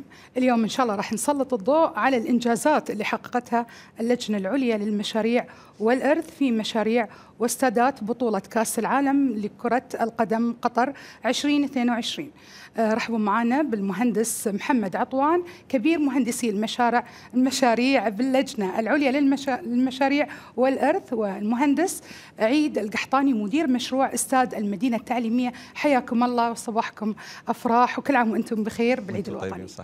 يعطيكم العافية. قطر فيكم استثمرت وبكم تعلو ومنكم تنتظر. أكيد هذه الكلمات الواحد دائما حلو يشجع نفسه فيها. أكيد أنا هذه آه، حضرة صاحب اسمه هو قالها كنوع من التشجيع. والتحفيز لجميع الشباب. قبل أن نبتدي بكل شيء أكيد كل واحد حاب يعبر عن حبه ولاءه وانتمائه في هذه المناسبة المميزة وفي هذا العرس القطري. نبتدي معاكم. الله كلمة يعطيكم العافية. أول شيء مشكورين على الاستضافة ونحب نتقدم باسم آيات التهاني والتبريكات إلى مقام حضرة سيدي صاحب السمو الشيخ تميم بن حمد بن خليفة ال ثاني وإلى آه، سمو الأمير الوالد الشيخ حمد بن خليفة ال ثاني ونائب سمو الأمير الشيخ عبد الله بن حمد ال ثاني وللشعب القطري الكريم. ولكل مقيم على دولة قطر الحبيبة آه، هذا اليوم عزيز علينا أمانة آه، إحنا ك- كقطريين وأمانة حتى ك ارتباطنا يعني لو نتكلم على كأس العالم هذا اليوم بيكون يوم مميز جدا كلنا نتطلع له صراحة يوم 18 ديسمبر 2022 اللي راح يكون في اليوم ال- الختامي أو ختام الفعاليات أو النهائي فلك أن تتصورين الوقت هذاك كيف الناس راح تكون يعني. نعم. كيف ال- الأجواء راح تكون في دولة قطر. كيف الناس راح تكون صراحة؟ يعني فعلا يصعب حتى إنك تتخيلين كيف الأمور راح تكون. صحيح. يعني الناس كلها راح تكون آه يعني سعيدة بهذا اليوم وبتكون يعني آه، بتكون المشاعر جدا مختلطة أمانة. فعلاً. يعني ما بين ال- اليوم الوطني ونهائي ال- ال- البطولة فدائما هذا اليوم راح يكون مميز آه، لنا دائما هذا اليوم له ارتباط لنا فينا إحنا كقطريين أمانة. اليوم الوطني لدولة قطر هو يوم عزيز علينا دائما ونحمد الله ونشكر أن النهائي في اليوم إن الوطني الله. اللي إن شاء الله بعد آه، أربع أربع سنوات سنوات. من الآن إذا الله أعطانا العمر إن شاء الله وياكم نكون إن شاء الله تستضيفونا هنا إن شاء الله أو نستضيفكم الله في الملعب إن شاء الله كمتطوعين كلنا إن شاء بإذن الله. الله إن شاء الله بإذن الله. وإن شاء الله أنه يكون يعني آه، المرحلة الجاية هي المرحلة النهائية من آه، ال- الأربع سنين الأخيرة نعم فاحنا جدا متحمسين لها نعم يعني إحنا نتكلم إن شاء الله عن بعد أربع سنوات تحديدا من هذا اليوم إن شاء الله راح نشهد يوم جدا مميز جدا فعلا. جميل نتكلم فيه عن نهائي كأس العالم. طبعا هذا اللي حظينا إحنا في شرف الاستضافة كأول دولة عربية وأول طبعا دولة في الشرق الأوسط صحيح. تأخذ هذه آه، وتنال شرف استضافة كأس 2022 أخوي أكيد محمد كلمة جميلة لو تحب توجهها في هذا اليوم الجميل. في البداية نصبح عليكم بالخير على السادة المشاهدين ونستغل هذه الفرصة نرفع أسماء التهاني والتبريكات. إلى حضرة صاحب السمو الشيخ تميم بن حمد آل ثاني أمير البلاد المفدى وإلى سمو الأمير الوالد الشيخ حمد بن خليفة آل ثاني حفظهم الله وإلى كافة من يعيش على هذه الأرض الطيبة من مواطنين ومقيمين. آه، مثل ما ذكر أخوي عيد يعني إحنا بعد أربع سنوات بإذن الله في نفس هذا اليوم بنكون إن شاء الله محتفلين في اليوم الوطني في آه، صباح آه، 18 ديسمبر 2022 وبانتظار نهائي آه، آه، بطولة كأس العالم البطولة الأولى في الشرق الأوسط بطولة العرب مثل ما ذكر سمو الأمير في أكثر من مناسبة. بإذن الله راح تكون ختام لبطولة استثنائية في 2022 وإن شاء الله تكون البطولة ال- الأنجح والأمثل من خلال تاريخ بطولات كأس العالم اللي تم استضافتها الفترة الماضية. نعم إحنا متعودين دائما قطر إذا عندنا فعلا نقول قطر قول وفعل إذا أخذت شيء أكيد لابد إنها تأخذه بأجمل صورة وتطلعه بأجمل حلة وأجمل صورة. إحنا قبل ندردش قبل لا نسولف عن الاستعدادات خلينا نشوف أن إحنا وياكم أكيد والمشاهدين هذا التقرير يتكلم فيه عن الاستعدادات وتحديدا نتكلم عن تدشين تصميم الاستاد لوسيل. تفاصيل أكثر راح نشوف في هذا التقرير ولنا عوده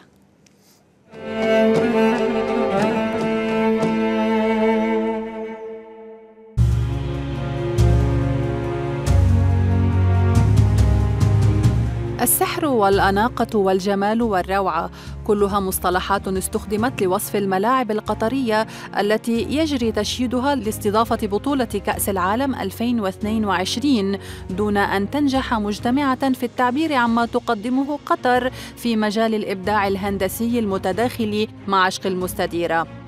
الدوحة قدمت لمحة عن المدى الذي ستذهب إليه في استادات كأس العالم عندما افتتحت عام 2017 استاد خليفة الدولي وهو أول استادات البطولة جاهزية لاستقبال هذا الحدث الكروي العالمي الذي يقام لأول مرة في المنطقة. لكن ما قدمه الكشف عن تصميم ملعب لوسيل الذي سيستضيف المباراتين الافتتاحية والنهائية لكأس العالم ذهب إلى أبعاد أخرى في التصميم الهندسي من خلال بنيته المصممة على شكل وعاء ذهبي تتخلله فتحات على شكل الفوانيس التقليدية التي تتميز بتداخل الضوء والظل. ومن المقرر حسب الخطة الزمنية أن يشهد عام 2019 جاهزية استادين آخرين هما الوكرة والبيت في مدينة الخور.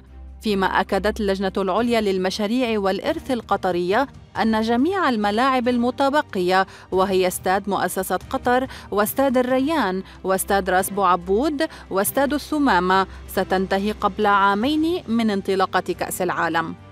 الملاعب الثمانية التي تمتد على مساحة قطر سيكون التنقل بينها يسيراً عبر مشروع مترو الدوحة وهو أحد أضخم مشاريع البنية التحتية التي ستكون جاهزة عام 2020 لتسهيل تنقل المشاهدين لمتابعة كافة المباريات.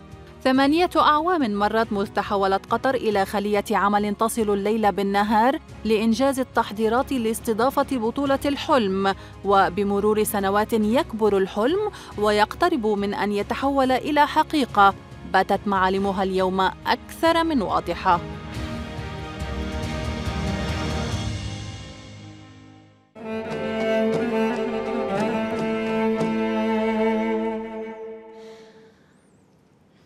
يا مرحبا بكم مشاهدينا مثل ما شفنا هذا التقرير عن الاستعدادات لمونديال 2022 أكيد لازم أسأل آه، المهندس محمد عن آه، بما أن آه، اللجنة العليا للمشاريع والإرث آه، مهامها الأساسية إن هي تهتم آه، بالاستعدادات هاي للتماشى مع المونديال آه، 2022 وبما أن لحد الآن صاروا ثمان آه، استادات آه، شنو الاستعدادات اللي أنتم سويتوها؟ طبعا مثل ما شفنا في التقرير من شوي آه، اللجنه العليا للمشاريع والإرث تم تكليفها بالتعاون مع الشركاء الرئيسيين في الدولة آه، أشغال وكهرماء وقطر الريل لتنفيذ كافة احتياجات والمنشآت والبنية التحتية اللازمة لاستضافة بطولة استثنائية في عام 2022 نعم. الشيء اللي بإذن الله راح يساعد في تحقيق الرؤية وتسريع تحقيق رؤية قطر 2030 آه، مثل ما شفنا الملاعب إحنا نتكلم حاليا عن ثمان ملاعب نعم. آه، راح تستضيف مباريات البطولة، الملاعب تم تصميمها وتاهيلها لخدمة ما بعد البطولة الارث المستدام اللي راح يبقى حق قطر وأهل قطر. آه، الشيء اللي آه، راح يمثل آه، أو يبين ميزة آه، في بطولة قطر 2022 اللي هي الارث المستدام اللي راح يبقى بالإضافة إلى آه، الإنجازات المستمرة من يوم فوزنا بحق الاستضافة في 2010 الشيء اللي مكننا آه، التخطيط بشكل آه، كافي للملاعب واختيار الأمثل للمواقع. بحيث إن إحنا آه، ننجز كافة المشاريع بوقت كافي قبل البطولة يمكننا من آه، تهيئة وتجربه الملاعب والأنظمة الموجودة فيها بشكل كافي لضمان آه، استضافة مثالية. مثل ما شفنا إحنا افتتحنا آه، 2017 استاد خليفة الدولي كأول ملعب من ملاعب المونديال. صحيح. حاليا العمل مستمر في إنجاز ال- الأعمال الرئيسية لكافة الملاعب. بإذن الله راح يكون عندنا افتتاح آه، ملعبين في بداية 2019 استاد الوكرة واستاد البيت في آه، الخور وبإذن الله راح نكون جاهزين آه، في كافة الملاعب قبل قبل بداية البطولة بسنتين الملاعب راح تكون جاهزة. لضمان استضافة مثالية نفس ما ذكرت بوقت كافي قبل البطولة. نعم إن شاء الله أكيد. لو نتكلم إحنا عن هذه المميزات أكيد مميزات كثيرة. من ضمنها سهولة الوصول والراحة. أهم آه، حطيته يعني في عين الاعتبار الاستدامة والإرث ما بعد البطولة. أيضا من الأشياء المميزة خلينا نقول آه، طبعا تعتبر هي أكثر بطولة مدمجة حيث أن الشخص آه، أو خلينا نقول ال- ال- المشاهد يقدر أو ال- ال- اللي حاب يحضر بطولة أو مباراة يقدر يحضرها يحضر أكثر من لعبة.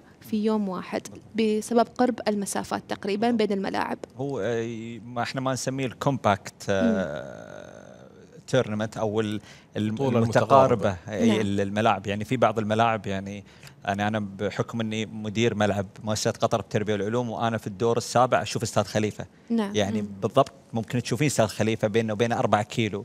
الريان أعتقد 6 كيلو ملعب الريان. ف فتتكلمين عن مسافات متقاربة جدا. يعني تصل إلى درجة إنه ممكن أحد إنه يمشي بالمشي من ملعب إلى ملعب. هذا وهذا جي يعني هذا شيء. جدا مميز. هو تحدي طبعا لكنه مميز أمانة. يعني هو تحدي تنظيمي يعتبر صحيح. بحكم ان أنت يعني تحرك الناس من ملعب إلى ملعب. لازم تأخذ هذه كلها بعين الاعتبار. طبعا إحنا هذه الأمور كلها مدروسة بعين الاعتبار في اللجنة للمشاريع في التصاميم الداخلية للملاعب أو في التصاميم الخارجية بالتعاون مع هيئة أشغال والمترو وإلى آخره وطبعا إحنا من هذا المنبر نحب نوجه الشكر لهم أمانة لأن فعلا التعاون اللي قاعد يصير ما بين ال- ال- هيئة الأشغال العامة مثلا الريل كهرماء بالنسبة لي أنا مثلا في الملعب مؤسسة قطر التربية والعلوم نعم. كذلك أسباير مثل ملعب أستاذ خليفة نعم. التعاون هذا أمانة يخلي الواحد دائما متحمس فعلا إنه ينجز بأسرع وأسرع وأسرع لأن الكل متعاون الكل متكاتف نعم. اللي إنجاح البطولة واظهارها على أكمل أكيد وجه. إحنا هالمواضيع أكيد راح نتطرق لها ونتكلم أكثر عنها لكن بعد هذا الفاصل مشاهدينا.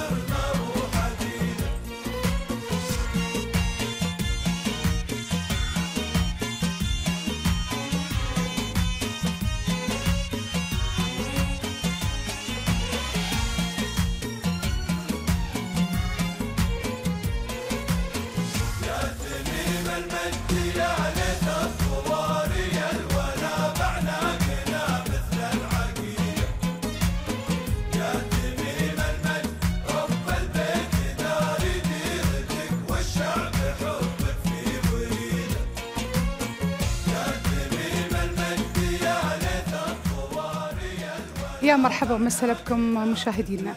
عودة للمهندس محمد. من يومين تم تدشين تصميم استاد لوسيل لو تكلمنا شوي عن هذا الاستاد واستعداداتكم لاستاد لوسيل طبعا استاد لوسيل تم تدشينه من آه، يومين نفس ما ذكرت في 15 ديسمبر. آه، ال- الاستاد اللي راح يستضيف المباراه الافتتاحيه والنهائية يعتبر أكبر ملاعب بطولة 2022 بسعة 80 ألف متفرج نعم. آه، الاستاد اللي راح آه، يكون بعد البطولة أو يتم تغيير استخدامه بعد البطولة كاستخدام غير رياضي يخدم سكان آه، منطقة ومدينة لوسيل آه، بحسب احتياجات المخطط العام للمدينة التصميم الاستاد طبعا كان تدشين تصميم الاستاد التصميم يعكس آه، طبعا أغلب تصاميم ملاعب بطوله كاس العالم تعكس آه، التزامنا وتمسكنا بعاداتنا وتقاليدنا والتراث القطري. آه، بالإضافة إلى الحضارة الإسلامية طبعا نعم. تصميم استاد لوسيل يعكس المواني ال- ال- المواني القديمة. ال- الأواني القديمة اللي هي الحرف. الحرف اليد- اليدوية اللي كانت تتميز بالشكل الخارجي بالحرف والنقوش الإسلامية.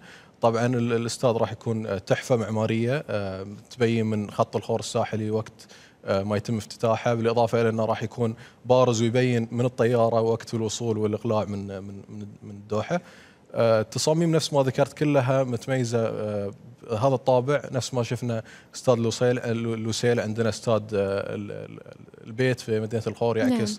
شكل الخيمة استاد الثمامة يعكس الطاقية أو القحفية نعم. اللي تتبين آه، أو تعتبر عنصر أساسي من اللبس التقليدي فكل التصاميم آه، الملاعب في بطولة 2022 ت- تتمحور حول هذه هذه هذه ال- الأفكار وهذه التفاصيل اللي حابين نبرزها للعالم خلال استضافتنا لهذه البطولة. نعم الجميل نقدر نقول فعلا يعني آه، رؤية قطر 2030 فعلا قاعدة تتحقق أيضا من خلال المباني لأن إحنا يمكن من ضمن ال- الرؤية والأشياء اللي موجودة عندنا أن أيضا مهما تطورنا لابد أن إحنا نلتزم بعاداتنا وتقاليدنا إحنا قاعد نشوف هذا الشيء ينعكس أمانة على التصاميم لو نتكلم إحنا يعني كونك أستاذ عيد القحطاني مدير مشروع استاد المدينة التعليمية اللي يعتبر فصلا من تاريخ الفن المعماري الإسلامي لو نتكلم عن آه، بشكل عام أهم المميزات اللي تميز هذا الاستاد طبعا بالنسبة لملعب مؤسسة قطر التربية والعلوم وهو يقع في ال- قطر Foundation أو. المدينة التعليمية.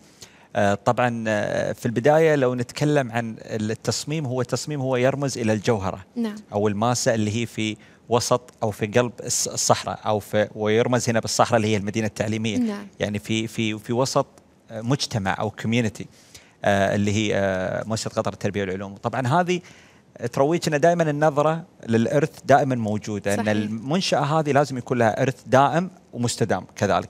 ف الملعب هذا راح يخدم ال- اللي هم مجتمع مؤسسة قطر التربية والعلوم آه، اللي هم الطلاب أو الكادر الوظيفي أو المدرسين اللي متواجدين هناك بصورة دائمة يعني. ال- ال- الجانب الإرث في هذا الملعب آه، يكون في أشياء كثيرة في الملعب تخدم احتياجاتهم من الفصول الدراسية من قاعات الاجتماعات مثلا من الصالات الرياضية المتعددة الأغراض مثلا في الساحة الخارجية للملعب هناك مباني جديدة تنشأ نعم. مع الملعب بالمو... بت... ب... وقت ما إحنا قاعدين ننجز الملعب الآن اللي هي راح تخدم مجتمع مؤسسه قطر التربية والعلوم. حلو. آه طبعا في ملعب مؤسسه قطر ما و... ما, لا ما راح يواجه تحدي ضخم من ناحية الإرث امانه لأن مثل ما تفضلنا إنه هو في وسط مجتمع صحيح. وإحنا في تنسيق دائم مع مؤسسة قطر التربيه والعلوم من ناحية النظر إلى احتياجاتهم، إيش الأشياء اللي ممكن إحنا نوفرها لهم بالملعب تخدمهم في المستقبل، طبعا آه، لحظة الافتتاح إلى ما بعد آه، البطولة والتنسيق صراحة قائم بشكل جيد جدا معاهم وه- وهذا اللي إحنا دائما نتكلم عنه إنه طول ما أن التنسيق متو- متواجد بيننا وبين جميع المؤسسات في الدولة هذا يسهل علينا كثير بلا امانه شك. ونحب نشكرهم أمانة لأنهم متعاونين جدا معنا في هذه النقطة. نعم آه، مهندس سعيد أنا لفت نظري أمس آه، أنا وشوق لما كنا نغطي فعاليات درب الساعي عبر شاشة تلفزيون قطر لفت نظري أن أنتم عندكم بوث آه، في درب الساعي تكلمون فيه الكبار والصغار. طبعا. آه، وتقولون لهم عن آه، الاستاد والاستادات الموجودة اللي الحين أنتم قاعدين تهيئونها صحيح. حق مونديال آه، 2022 لو تكلمنا أكثر إن ليش بالذات الأطفال؟ طبعا هو اللجنة العليا دائما ما تكون مبادرة في المشاركة في أي فعاليات تصير في دولة قطر. وطبعا درب الساعي يعتبر الفعالية الرئيسية أمانة. آه، ولا بد أن إحنا نكون متواجدين ولا بد أن إحنا نكون آه، مشاركين في هذه الفعالية ونحاول نحبب نوصل الأفكار لل- للجميع. طبعا الأطفال آه، بصورة رئيسية إحنا دائما نحاول نتواصل مع المدارس والأطفال هذه لتوصيل الأفكار اللي إحنا حابين نرسلها من خلال بناء هذه المنشآت. لأن أمانة هم اللي بيكونون المستقبل هم اللي راح يستخدمون هذه ال- المنشآت آه، ومهم جدا عندنا إنه يكون ال- المجتمع القطري سواء كانوا كبار أو صغار عندهم خلفية إن المباني هذه تحتوي على إيش واعي. نعم. إي وفعلا إحنا في اللجنة العليا في البداية يعني لو أتذكر في الخور والوكرة راحوا عملوا مجالس وقعدوا مع أهل المناطق هذه صحيح. وأخذوا منهم مثل ما تقولين. الأفكار اللي هم يحبون يشوفونها في هذه المنشآت أو إيش اللي بيكون مفيد لهم. نعم. فطبعا دائما اللجنة العليا مبادرة لمثل هذه ال- ال- الأمور والمشاركة في هذه الفعاليات. أكيد طبعا مشاركتكم جزء لا يتجزأ أكيد من أن أنكم تكونون تحت مظلة اليوم الوطني تحتفلون معاهم وأيضا تعرفون بشكل عام الكبار والصغار والزوار بأهم المشاريع وأهم الإنجازات اللي الإنجازات، قدمتوها صح. يعني لو نتكلم عن المباني نتكلم عن الاستعدادات يعني بعيدا عن الشكل ال- اللي قاعد نشوفه الخارجي بعيدا حتى عن ال- الأشياء والمميزات أيضا اليوم إحنا نتكلم عنكم أن أنتم تهتمون بكافة ال- المناطق حتى المحيطة بالاستعداد فلو نتحدث أكثر أستاذ محمد عن هذا الجانب. صحيح بس أنا برجع النقطه اللي ذكرها أخوي عيد اللي هي موضوع التواصل وإشراك المجتمع. عندنا قسم مختص للتواصل المجتمعي في إدارة الاتصال في اللجنة العليا للمشاريع والإرث. هل القسم ساعدنا بشكل كبير في نفس ما ذكر أخوي عيد في بداية التصميم ودراسة المواقع نعم. الموقع الأمثل لكل أستاذ بزيارة المجالس وأخذ آرائهم وأخذ احتياجاتهم والنواقص اللي موجودة في كل موقع حلو. اللي يميز أستاذاتنا إن إحنا قاعدين نطور أستاذ من ضمن منطقة متكاملة منطقة رياضية ومنطقة تضيف للمجتمع كمنطقة أو جذب لمرتادي آه، المكان. آه، أقرب مثال ممكن أضرب فيه اللي هو استاد خليفة الدولي ومنطقة سباير زون. نعم. الاستاد جزء من منطقة متكاملة فيها آه، حدائق عامة مفتوحة للناس فيها فنادق فيها ممرات للجري للدرجات الهوائية مجمعات تجارية. هالشيء اللي حاولنا نطبقه في كل ملاعبنا. نعم. من خلال فريق التواصل المجتمعي وزياراتهم لأهالي المناطق. أقرب مثال ممكن أتكلم عنه اللي راح من الملاعب اللي راح يتم افتتاحها قريب إن شاء الله استاد الخور نعم. استاد البيت مدينة الخور الأستاد آه، يتم انشائه على مساحة مليون و400 ألف متر مربع تقريبا كيلو في كيلو. فالمنطقة راح يتم تطويرها بشكل كامل تخدم آه، أهالي الخور وذخيره والمناطق الشمالية. الاستاد راح يكون آه، حوله آه، مسطحات خضراء آه، كحدائق عامة ممرات جري آه، ركوب خير ركوب إبل آه، درجات هوائية مطاعم آه، فرع من مستشفى سبيتار. فكلها أمور آه، وعناصر خدمية راح تخدم آه، سكان المناطق اللي حول الملعب وكل ملعب راح تكون فيه عناصر مختلفة عن نعم. الملعب الثاني حسب احتياجات أهالي المنطقة اللي حول الملعب.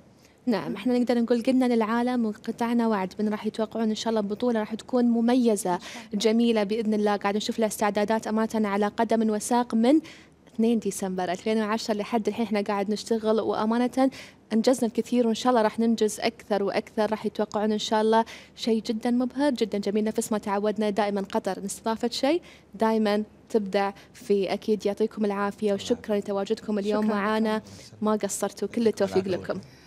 شكرا لكم. آه ناخذكم أعزائي المشاهدين آه، من كتارة إلى سوق واقف مع الزميل عمر الشمري ونشوف الأجواء شلون عندك يا عمر.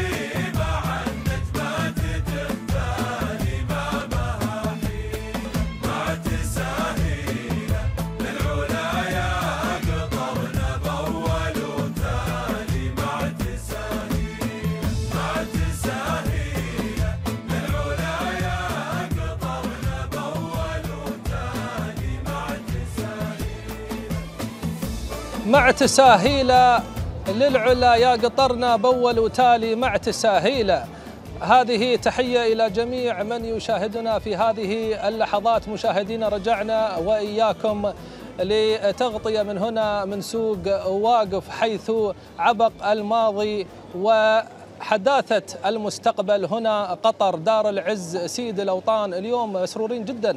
مشاهدينا أن نتواجد في سوق واقف للحديث عن عن فعاليات سوق واقف. في يومنا الوطني هذا اليوم الغالي على قلوبنا كلنا يسرنا جدا في هذه اللحظات أن نستضيف الأخ عادل الكلدي المنسق الإعلامي لفعاليات سوق واقف يا مرحبا ومسهلا فيك أخوي عادل. الله يرحب فيك أخوي عمر وصباحكم وطن صباح المجد صباح العزة والفخر. قطر على القمة اللي قالوا قطر قيمة كرم والجود ودان ومطر محمية بصقورها وقت الخطر. يا سيدي يا أبو حمد يا سيدي. آه، بداية آه، أسمع آيات التهاني والتبريكات لسمو أمير البلاد المفدى حفظه الله الشيخ تميم بن حمد آل ثاني بمناسبة اليوم الوطني الذي يصادف اليوم الثامن عشر من ديسمبر آه، تهنئة أيضا موصولة لسمو الأمير الوالد والشعب القطري والمقيمين على أرض قطر بهذه المناسبة نبارك لهم بهذا اليوم الوطني وسعداء بوجودكم معنا هنا.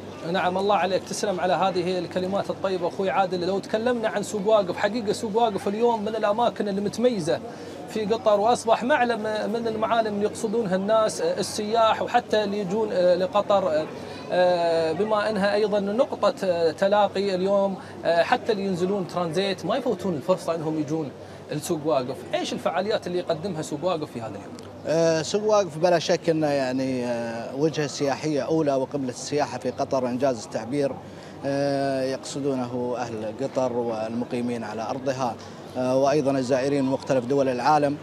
سوق واقف جزء من تاريخ قطر وحضارته وعبقه التاريخي كما ذكرت في المقدمة. أعيد ترميم هذا السوق مؤخرا في 2004 تقريبا تم افتتاحه مجددا للجماهير ومنذ ذلك التاريخ وسوق واقف يشهد إقبالا جماهيريا منقطع النظير بفعالياته التي تقام على مدار العام.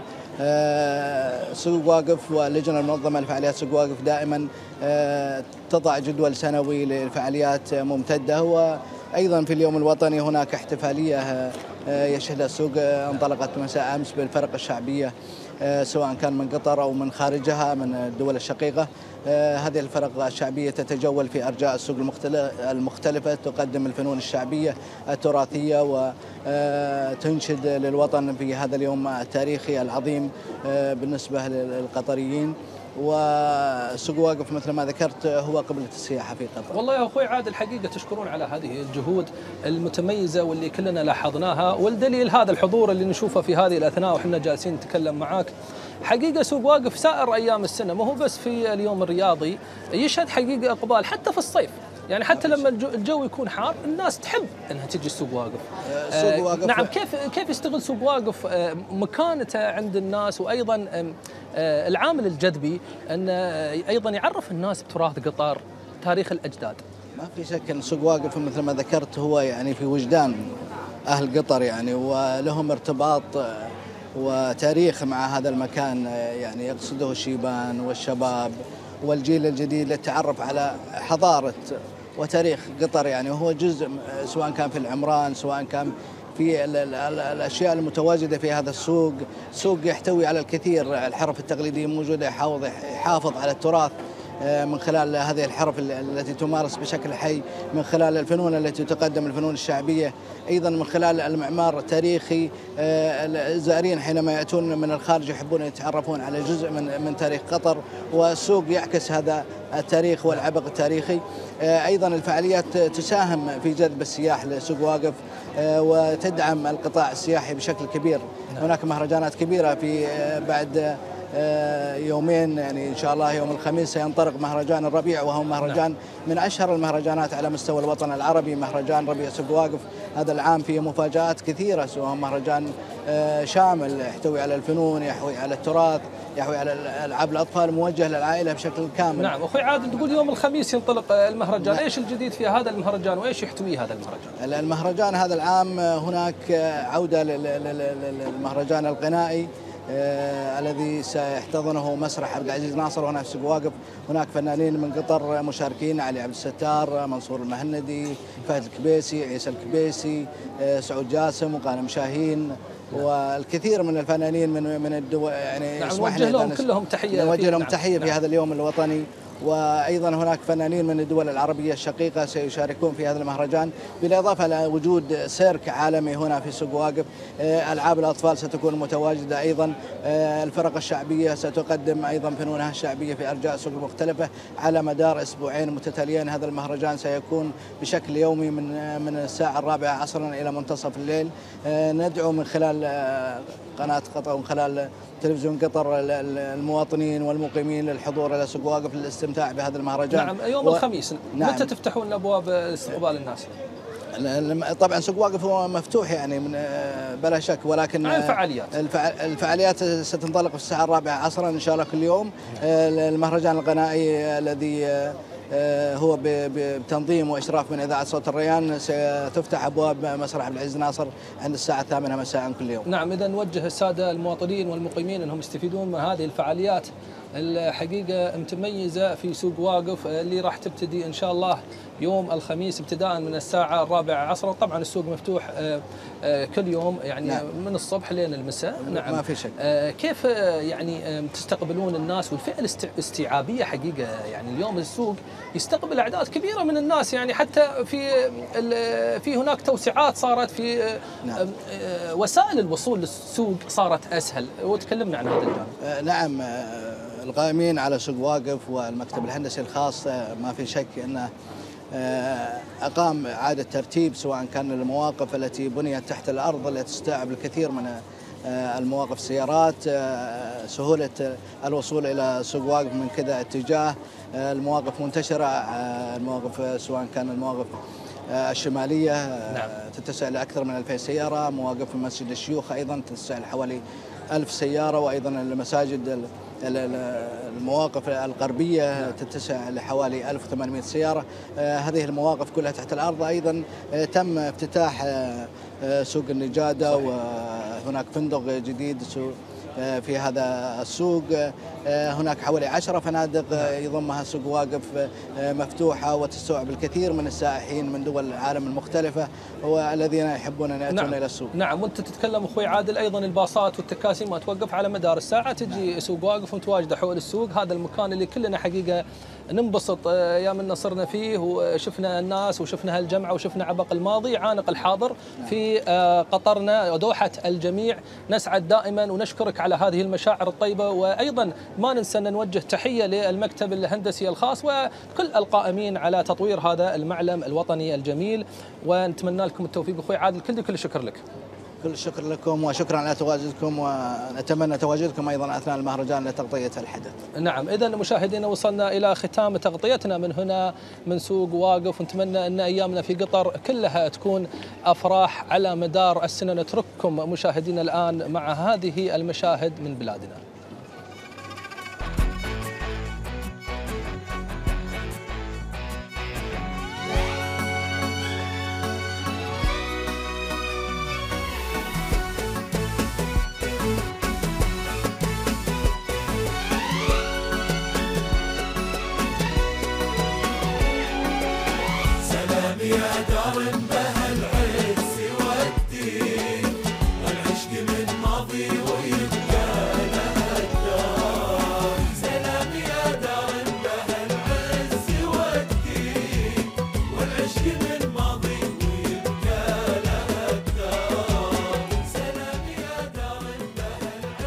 يا قطر انت الحياة انت الوجود. يا قطر يا أحل أحلى لحن في الوجود. يا قطرنا يا أملنا. حبنا لك بلا ثمن ولا حدود. طبعا مشاهدينا ادعوكم إن شاء الله بكرة تحضرون الأوبريت المميز والجميل مواطن ومقيم يدا واحدة في الحي الثقافي كتارة فعاليات كثيرة أكيد تحتفل بهذا اليوم المميز والجميل. راح يكون إن شاء الله بكرة على مدار آه عندنا آه الساعة 7 العرض الأول والساعة 9 العرض الثاني. فدعوة للجميع أنهم يحضرون ويستمتعون بهذا الأوبريت المميز. تروحين صح؟ أكيد أول الناس حاضرين إن تاخذيني شاء الله؟ لازم إن إن إن شاء الله. داركم دارنا عز الله بانيها جعل يسلم تميم اللي تولاها. استمتعنا كثير معاكم وقضينا وقت حلو. في اليوم الوطني عبرنا فيه عن مشاعرنا ونتمنى نلقاكم إن شاء الله بكرة بنفس الموعد الساعة إن شاء العاشرة الله. ونقول لكم نقول لهم قبل نقول لهم الله يحفظكم لازم بعد نقول لكم إن إحنا شاشة تلفزيون قطر حريصة جدا على تسليط الضوء وتغطية كل الفعاليات اللي موجودة في الدولة خصوصا لمرضانا. الله يشفيهم أكيد والمغتربين وكل من خارج قطر. نحب نشاركهم هذه الفعاليات راح يكون إن شاء الله عندنا بشكل مباشر برنامج مسير الوطن الساعة 2 على الكورنيش. فعاليات كثيرة راح نسلط الضوء عليها وأمور كثيرة كثيره إن شاء الله راح تنال على استحسانكم ورضاكم ونقول لكم كل عام وأنتم بخير وأكيد كل عام دوحتنا دوحة تميم المجد بألف خير وفي أمان الله وبحفظه. مع السلامة.